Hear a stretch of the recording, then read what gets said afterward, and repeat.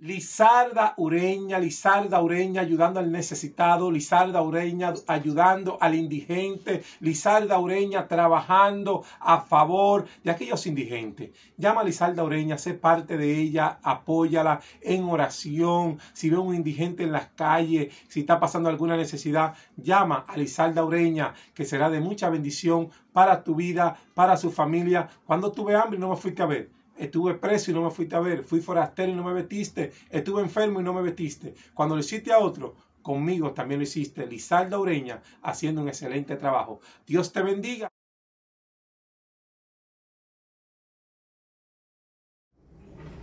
Father God, in the name of Jesus, I coming into your presence to ask you for mercy, Father God, for the state of Florida, the hurricane that coming with big wind to destroy many city, Father God, have mercy, have mercy, Father God, asking you in the name of Jesus. Have mercy because this big city don't care about the poor, they don't care about the homeless. They sign love against the homeless people. They don't have enough shelter. They don't have affordable housing, low income housing, and they don't care for the poor. Change the heart of the governor. Change the heart of the rich people so they can understand the Poor people need housing, Father God.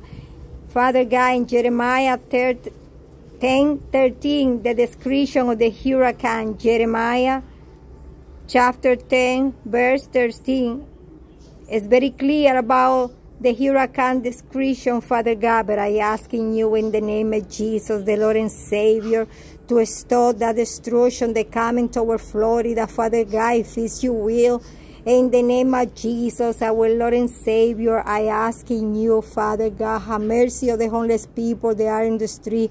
Many homeless people are going to die, Father God. Many people are going to die from this hurricane. Stop the destruction, Father God, and change the heart in the name of Jesus. Amen. Sister Lizalda Urena, an intercession prayer for the God have mercy of Florida and other state and other country the hurricane is going to hit. Today is October 8, 2024. The hurricane supposed to hit Florida tomorrow, October 9, 2024. I asking God Almighty of Israel, the King of the nation, to stop his wrath against Florida and other nation around the world in the name of Jesus.